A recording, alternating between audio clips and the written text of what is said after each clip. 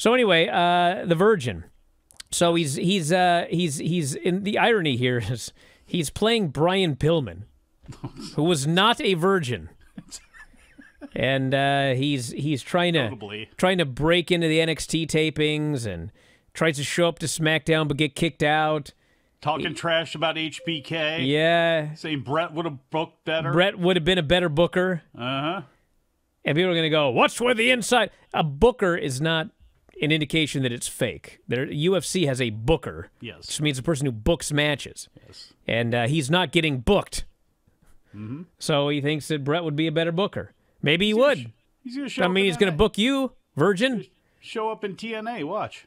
He could. He actually could show up in TNA. I like that idea. Look, I, if, if this is going to be a thing, and it might as well be a thing, why not give a guy like Brooks Jensen, who's not going to get time on NXT and certainly is not at the level to be brought up to the main roster? You can say that about Fallon Henley and, and Josh Briggs. They should probably stay down longer, but they're a lot more ready than this kid is. So use TNA for that. Use it for a couple of people like that who need some experience, need some shine, and they need it away from NXT level up or whatever, you know, their basically their D show is. We got Chuck Taylor talking about his injury status. He was interviewed by Renee. Says, I can get surgery. Once I heal from that, I can hopefully reassess. A lot of guys and gals have come back from, quote, career ending injuries, he says. He has not scheduled the surgery yet. He's wanting to take the summer to learn the production side of AEW television. It's not really an emergency, they said. I can't do anything athletic. Eventually, they said I'll get terrible arthritism. Is that a word? Arthritis Arthritis. and then all they can do is fuse it. But that's years down the line, so I'm hoping maybe take the summer to feel comfortable in this job. I don't want to learn half of it and then leave for a while. So hopefully after the summer is my hope. So uh, hey, at least he's working on something else in wrestling for the time being. Yeah. So that's good news. And, And we'll that's see. why multiple promotions are important. I know people are dogging, eh, they don't know what's going on on Impact. Nobody watches or whatever. People hate AEW, whatever. These things provide jobs for these guys for a long time. Look at Lou D'Angeli, for heaven's sakes. You know, guy who was signed Guy Dudley and Lou E. Dangerously, and he was able to take his marketing background and go ahead and exploit that in the wrestling business for a long time. So it's nice to see a lot of these folks because a lot of your favorites at some point they're going to be wrapping it up. And look at guys like Adam Pearce and, and folks like that, Abyss. You know, there's a ton of them who have, you know, gotten into this field, and the more jobs that are open, the more chances as there are to learn and make money. That's a good thing.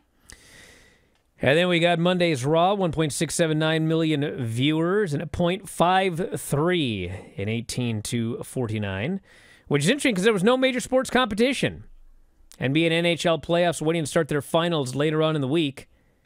Viewership down 8.2%, 18 to 49 down 5.4%. So not a not a great week for Raw, but uh, still 1.7 million viewers. Not too bad. 0.53 Interesting on a heel heavy show. It truly is.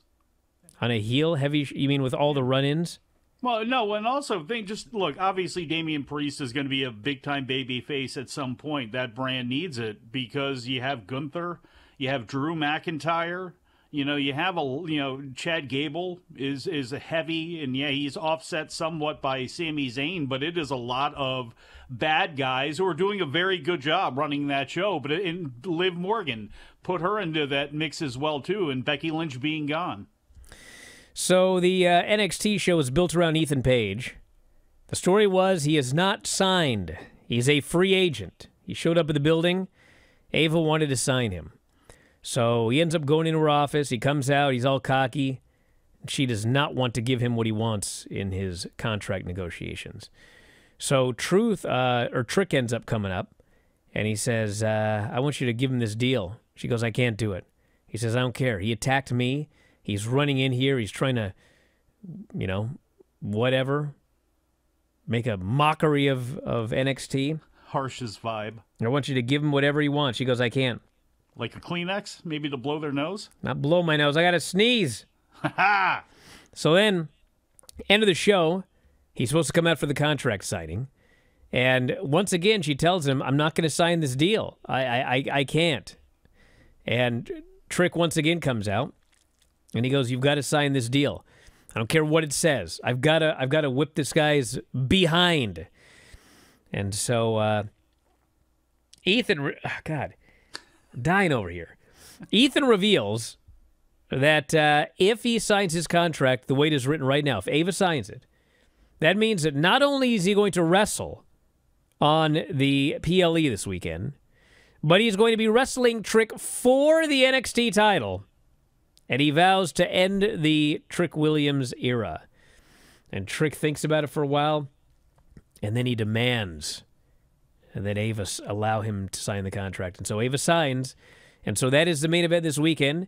It is Ethan Page against Trick Williams for the NXT title.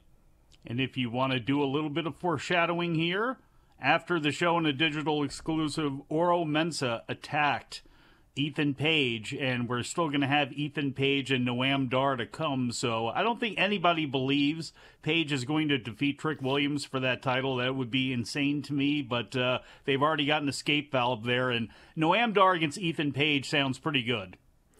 So we got uh, that match is the main event. We've got Oba Femi against Joe Coffey and Wes Lee. This Shawn Michaels loves Gallus. Yes. I talk about this all the time. It's like, like, like everybody shaking his thing. Everybody has, not just in wrestling, but like I like Lightning Hopkins. Everybody has something in their life that people are like, "What? That's your favorite?" Like, huh? Well, you like, especially furries? with wrestling. I bet if we ask Montezi, like, what was the first thing you saw in wrestling that got you interested? He'll mention something like Chavo Classic or something. There's always something like that. And uh, Bravo and the Ultimate Warrior. Shawn Michaels has his Gallus. I'm just watching this show, and sure enough, Gallus comes out and takes out everybody, and I'm like, Gallus. Yeah, I can't say anything. I got a picture of uh, Ronnie Garvin behind me as NWA champion. That's that's a great example. So yes, Oba Femi against Joe Coffey and Wes Lee for the North American title. And honestly, in that match, I think Oba Femi should win. Yeah. Because if if Wes Lee's winning the title, he should win in a singles match against against Oba Femi.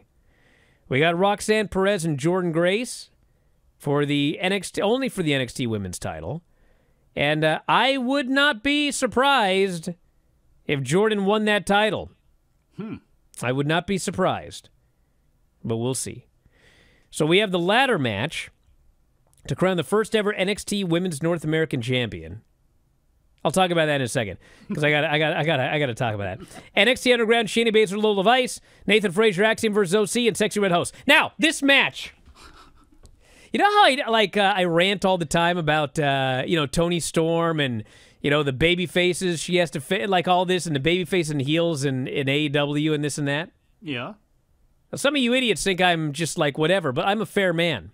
Okay. You yes. This NXT segment nothing AEW has done ever has been as confusing and irritating as this segment they did on this show.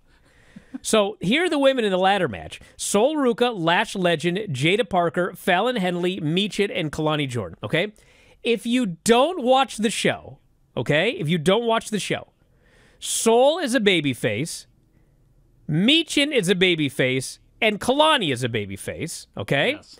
Lash is a heel, Jada is a heel, and Fallon is a heel. Yes. What do you see here? Three and three. Three and three.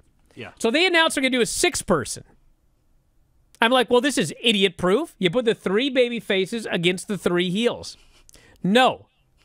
They mixed it up. They had baby faces and heels on one team against baby faces and heels on the other team. Okay? Impromptu.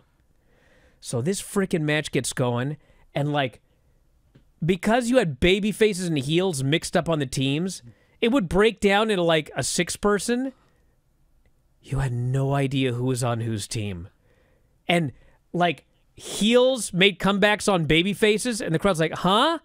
And then baby faces would make comebacks on baby faces, and they were like, what? They weren't ready for the This in freaking match. Like it's it's actually so preposterous. I almost need to watch it again. Like I just could not believe what I was watching. And you're underselling the fact they had a big sit down with a bunch of going back. Oh, that was horrific. With all the dialogue. But it was better than trying to figure out this match where like a heel runs and a heel makes a hot tag to another heel who then starts running wild on a baby face. I'm like, God, Shucky ducky quack quack. God, shucky ducky. Back after a break. Thank you for watching. Make sure you subscribe to the channel and click that notify button, and you'll never miss a video again.